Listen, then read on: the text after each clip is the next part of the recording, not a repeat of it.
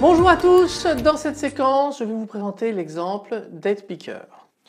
L'objectif de l'exemple est simplissime, on va construire un sélecteur de date et on va faire une sélection entre 10 jours avant maintenant et 30 jours après maintenant et on affiche la date sélectionnée.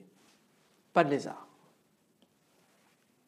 Regardons donc ce petit exemple, je le lance donc aujourd'hui à 17h44 et vous voyez qu'il euh, affiche eh bien, ma date en haut dans un, c'est un text view, on va le voir plus tard. Et puis euh, j'ai ici mon UI picker. Et vous voyez que ici, je peux revenir. Et vous voyez que, alors là, euh, on est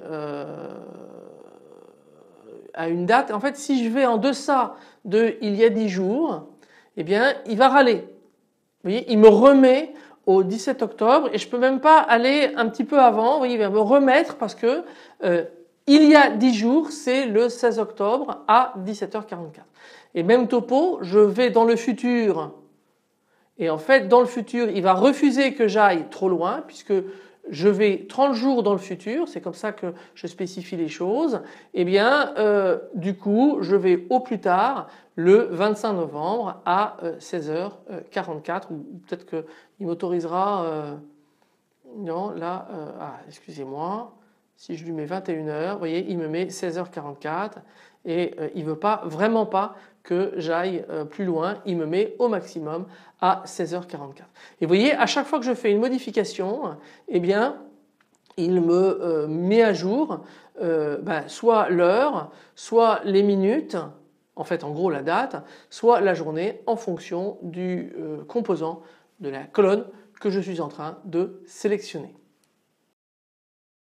Donc j'ai fait cette fois-ci l'application en Swift, on a un view controller et une vue qui est invoqué par le ViewController.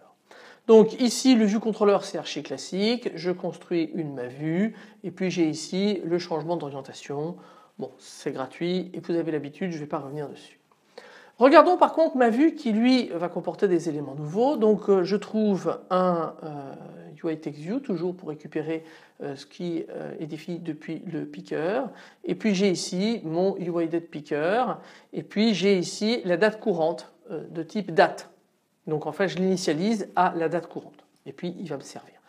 Donc je vais bloquer, hein, j'utilise un UI Text View, donc euh, je vais dire qu'il n'est pas sélectionnable ni éditable. C'est-à-dire que je peux avoir tapé dessus, ça ne va pas faire apparaître de clavier et je ne peux pas sélectionner pour faire du copier-coller, rien. C'est simplement une zone affichable. Vous avez vu que la date elle est plus longue que ce que je peux mettre dans un label, c'est confortable d'utiliser un UI Text View pour cela. Euh, c'est du texte centré, et puis ici, je vais dire que le picker mode c'est date and time. Euh, et puis euh, ici, vous voyez, je le positionne donc la date minimale et la date maximale, c'est adding time interval. Et puis ici, c'est avec un, intervalle négatif et ici un intervalle qui est positif. Je fais ici le super init et puis ici, je dis que le fond est blanc. Euh, de ma vue, je, mets les, je fais les add subview, je fais le add target, donc c'est un mode opératoire simplifié par rapport à un UI picker view, d'accord, et je dis, ben voilà, invoque la méthode change date. Et puis, eh bien, euh, j'affiche ici euh, la description de ma date courante en disant ici que la locale est current. La locale, c'est les informations de localisation liées à mon terminal je pourrais euh, créer un local différent si je l'afficher en javanais alors que mon terminal n'est pas en javanais. Donc ça c'est la méthode euh, que Xcode m'oblige à créer, ça c'est le display, on a l'habitude c'est pour repositionner les éléments en fonction de l'orientation.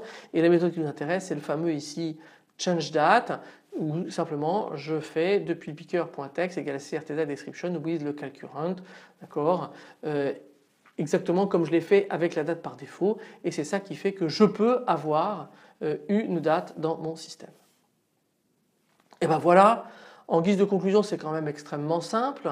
Euh, cet ABK est très utile et j'insiste, vous avez vraiment intérêt à l'utiliser dès que vous voulez faire saisir ou sélectionner une date et une heure à un des usagers de vos applications. Je vous remercie de votre attention. À bientôt.